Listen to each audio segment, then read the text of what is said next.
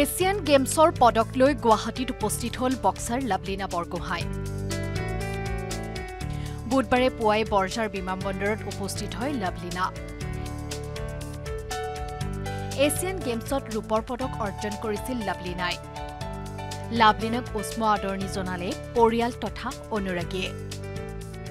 বিমানবন্দৰৰ পৰা পোনে পোনে কামাখ্যা ধামলৈ যায় লৌহকন্যা লাভলীনা বৰগোহাঁই। মা কামাখ্যাত পূজা অৰ্চনা আগবঢ়াই লাভলীনাই এতিয়া লাভলীনাৰ লক্ষ্য পেৰিছ অলিম্পিকত স্বৰ্ণজয়।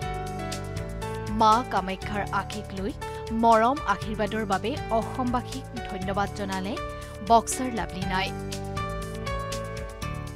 ভাল লাগিছে বহুত বেছি ভাল লাগিছে যেতিয়াই এটা মেডেল লৈ উভতি আহোঁ। এটা বেলেগ পৰিৱেশ দেখিবলৈ পাওঁ বহুত বহুতেই বেছি ভাল লাগিছে আৰু যিহেতু এছিয়ান গেমছ মোৰ প্ৰথমবাৰ আছিলে লগতে কোৱালিফিকেশ্যন আছিলে তাৰ বাবেও বহুত ইম্পৰ্টেণ্ট আছিলে। তাত গৈ আজি সফল হৈ আহিব পাৰিছোঁ নিশ্চয় ভাল লাগিছে। বৰ্তমান কি ক'ব বিচাৰিব? আমাৰ সকলোৰে আশা আছে আপুনি এবাৰ গ'ল্ড আনিব অলিম্পিকত। নিশ্চয় সেইটোৰে আশা আছে তাৰ কাৰণে লাগি আছোঁ।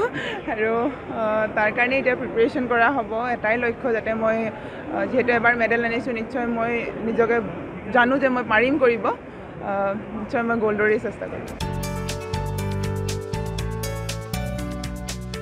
আজাৰাৰ পৰা Dhrubajyoti Talukdar report news eighteen Assam north east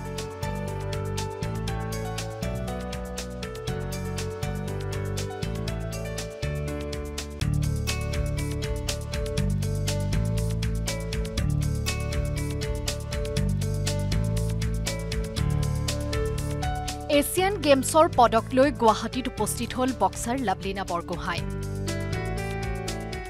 বুধবাৰে পুৱাই বৰঝাৰ বিমানবন্দৰত উপস্থিত হয় লাভলীনা। এছিয়ান গেমছত ৰূপৰ পদক অৰ্জন কৰিছিল লাভলীনাই। লাভলীনাক উষ্ম আদৰণি জনালে পৰিয়াল তথা অনুৰাগীয়ে। বিমানবন্দৰৰ পৰা পোনে পোনে কামাখ্যা ধামলৈ যায় লৌহকন্যা লাভলীনা বৰগোহাঁই।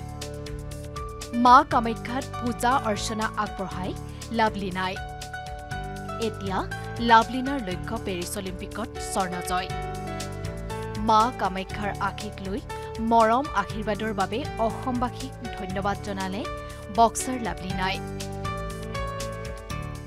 ভাল লাগিছে বহুত বেছি ভাল লাগিছে যেতিয়াই এটা মেডেল লৈ উভতি আহোঁ এটা বেলেগ পৰিৱেশ দেখিবলৈ পাওঁ বহুত বহুতেই বেছি ভাল লাগিছে আৰু যিহেতু এছিয়ান গেমছ মোৰ প্ৰথমবাৰ আছিলে লগতে কোৱালিফিকেশ্যন আছিলে তাৰ বাবেও বহুত ইম্পৰ্টেণ্ট আছিলে। তাত গৈ আজি সফল হৈ আহিব পাৰিছোঁ নিশ্চয় ভাল লাগিছে। বৰ্তমান কি ক'ব বিচাৰিব? আমাৰ সকলোৰে আশা আছে আপুনি এবাৰ গ'ল্ড আনিব অলিম্পিকত।